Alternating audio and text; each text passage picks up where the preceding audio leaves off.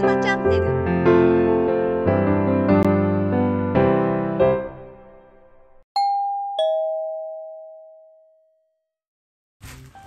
こんにちは、いぐまです。これがね、何かというと、宅配買取り。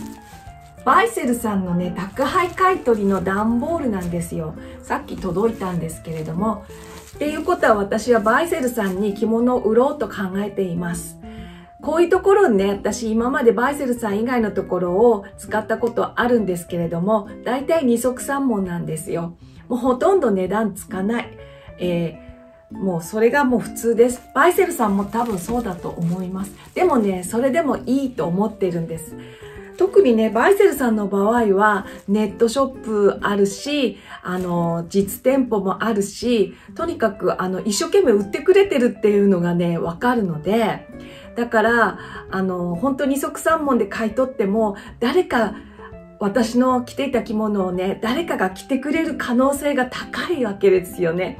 だから、バイセルさんにお願いすることにしました。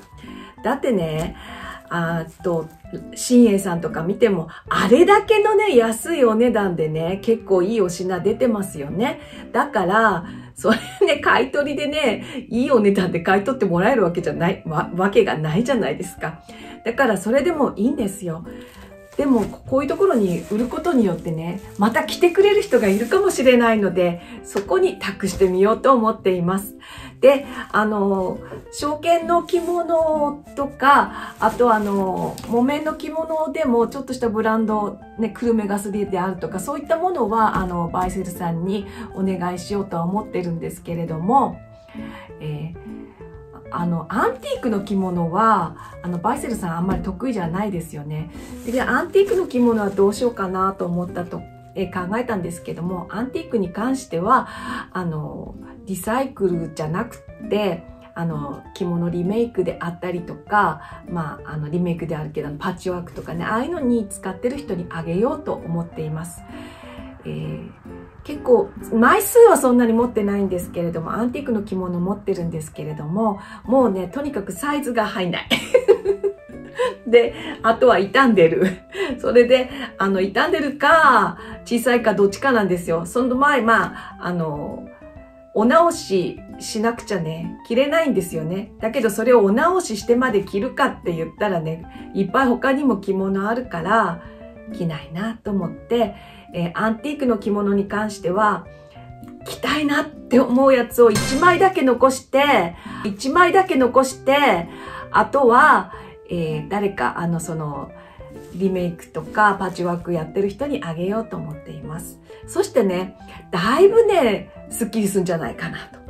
そしたらね、なんですここね、頑張って今、あの、処分しようって思ってるかというと、欲しいものがいっぱいあるんですよね。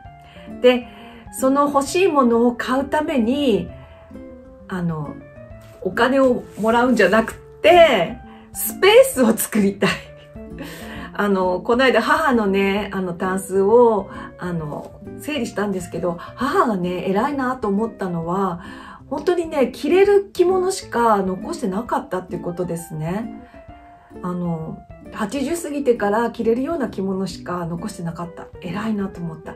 だけど、今、そのやさすが認知症っていうか、そういうところ爪が甘かったのは、あの、すっごい中にね、もう多頭紙が、と、あと防虫剤がね、もう山のように入ってたんですよね。だから防虫剤の匂いもすごかったし、あの、もう、もうボロボロのね、多頭紙があって、これはちょっといけないなと思って、そのボロボロの多頭質と、多頭紙と、あの、もう古い、あの、防虫剤の殻、抜け殻みたいなのはね、捨てました。でもそれでも本当にね、多分ね、80歳過ぎても着れるような着物しかね、あの、お姑さん残してなかったの、そこは偉いなと思って、そこは見習わなくちゃなと思いました。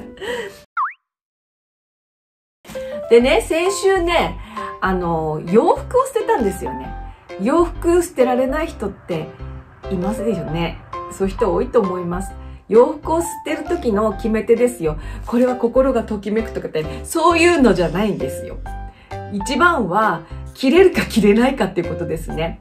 まず着てみて、で私みたいに太っちゃった人の場合は窮屈になっててそれはもうダメです全然ねそうするとあと着てみたらなんか古さ臭くって自分が老けて見えたそれもダメですようんあとはもう本当になんていうかこうとにかく自分の着た自分に好感が持てなければそれはね捨てた方がいいうんそしてねあの高価じゃなくてもいいからあの安い新しいお洋服を買ってきた方がいいです。うん。ほんとつくづくそう思うお洋服に関しては。で、お洋服はね、枚数いらないね。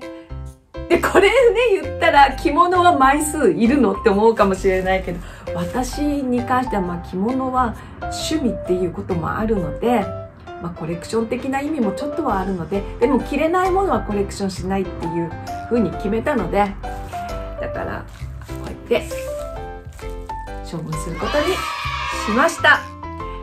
ちょっとねアンティークの着物見てみますか私の。うんちょっと出してきますね。そしたらちょっとアンティークのね着物だけ皆さんと一緒にちょっと見ていきたいと思います。これは下がった方が見える？ちょっと下がった方がちょっとこう見えるか。そんなにないんですよ私アンティークのね着物って。じゃあ一つずつ。はい。これね。こうこれ一重の矢がすりでこれはなんかねシャリッとしたお召しみたいな感じなんですよね。一重のね。これはね多分サイズ的に着れるんじゃないだろうか。で似合ったらノックスか。よしそしたら皆さんと一緒に。見ていただきたいと思います。この服の上に着ちゃうから、これ今日の私はね、もう、うーんと、ジーパンですね。こうバギータイプのジーパンで、これもね、あの、えっ、ー、と、洋服整理の時に古くて着れないかなと思って着てみたら意外と、なんか意外と良かったので着ることにしたジーパン。ジーパン履くの久しぶりですよね。でもなんか、意外と良かった。まあそんなことはどうでもよくて、これね、これ着てみましょうか。まあ、着てみるってこの上にね、それでもさすがにちゃんと着てはさ、ちょっとさすがに、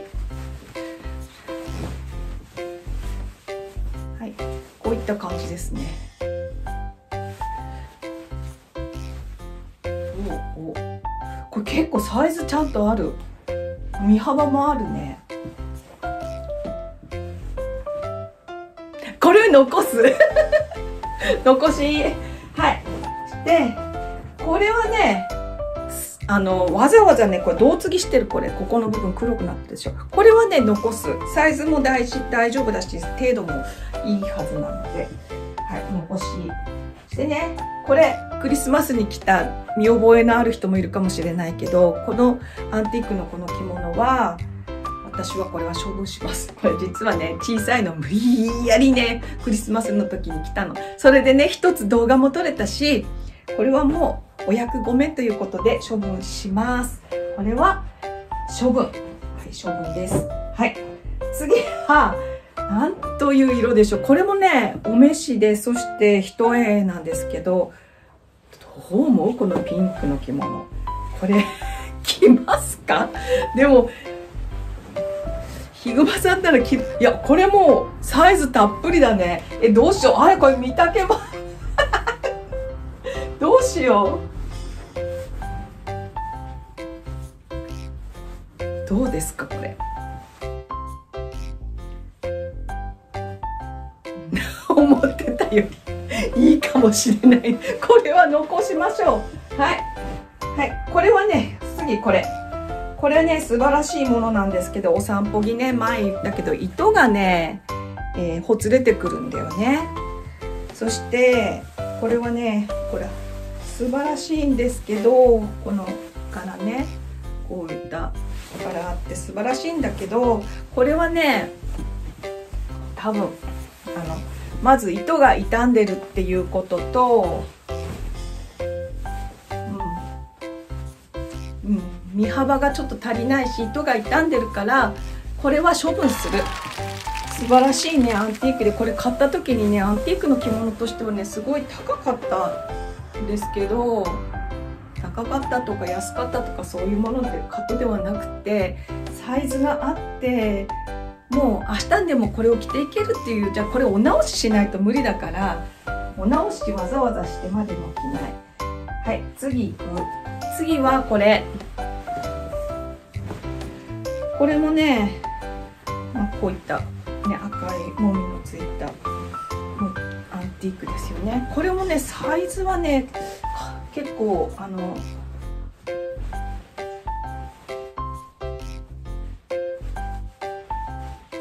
れが着れるな。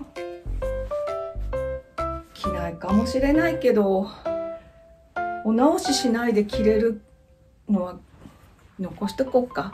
でもこれ意外といいかも。ダメだ。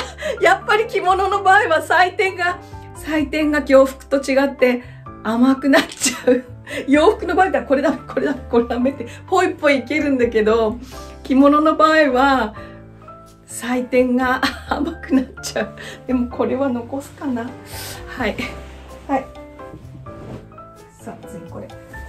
あこれ皆さん知ってます？私のねあの YouTube のあのプロフィールの写真。これ着てるんですよこの着物。この名線のね。もうこれはねサイズがちっちゃいの。でもね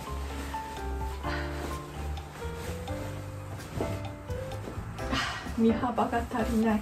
でもこれいいでしょ？うでも雪も足りない。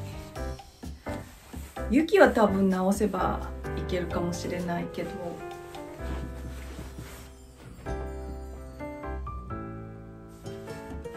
この柄がねあの YouTube のあのプロフィールにしてるぐらいね好きな柄なんですよね。直しでもな見丈見丈も足りないし。いやでもこれね本当に好きなんだよね。見丈はだけどお直しお直ししようかな。これはお直しの保留としてトトプもしお直しできる機会があったらこれをお直しする。そしてこれ着てお出かけしたい。これね。うん。あのプロフィール写真で着てるの。あの頃は私もだいぶ今よりも体重が56キロ少なかった。もっと少なかったかな。はいこちら。こちらのメッセンですね。これはねさっきのやつよりはちょっと大きいかもしれないけど着ないね。こんなあこれはなんか新しいね。あ全然新しい。このほらこのついてる、う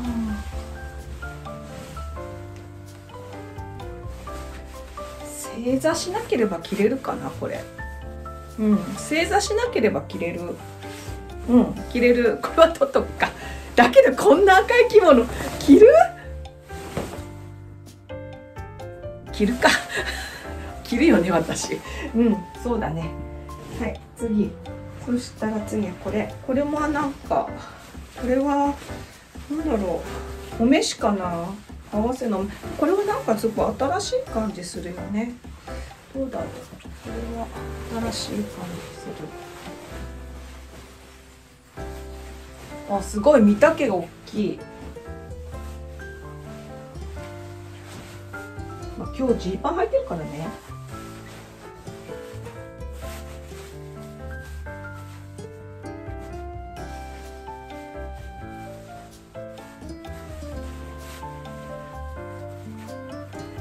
うですか？こなんか。いや意外となんかおしゃれな感じしません？この色の感じ。こうちょっとこう前衛的な？結局結局全然捨てられない。うんと2枚。2枚しか処分できなかった。全然言ってることとやってること。まあ2枚はだあのパッチワークとかやってる人にあげようと思います。あとはうんととく。着る。着るわ。早速これ着ようかな。これどう思う？これすごくいいと思いません？いいよね、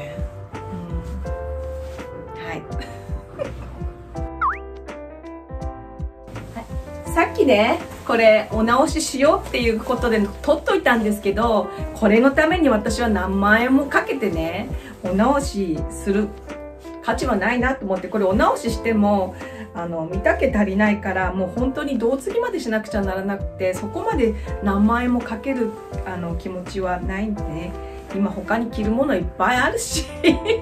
だからこれは、え処分ということで誰かパッチワークとかに使っていたもらおうかなと思います。あともうすぐ切れそうなものは、まあ、これなんかも着れますよね。だからこれは取っておきます。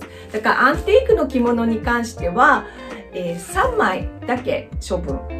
あとは残しと。いうことにしました。その他にね、はね、バイセルさんに送るものはね、さっきこうピックアップして、えー、顧問とか紬とか、あと帯も何本か処分しようと思ってます。目標は、えー、着物を10枚、帯は3本ぐらいは処分したいなと思っています。で、あのー、そしたら欲しいものを買えるしな。うん、そういうことですね。欲しいものを気持ちよく買うために処分する。愛するさんに売る。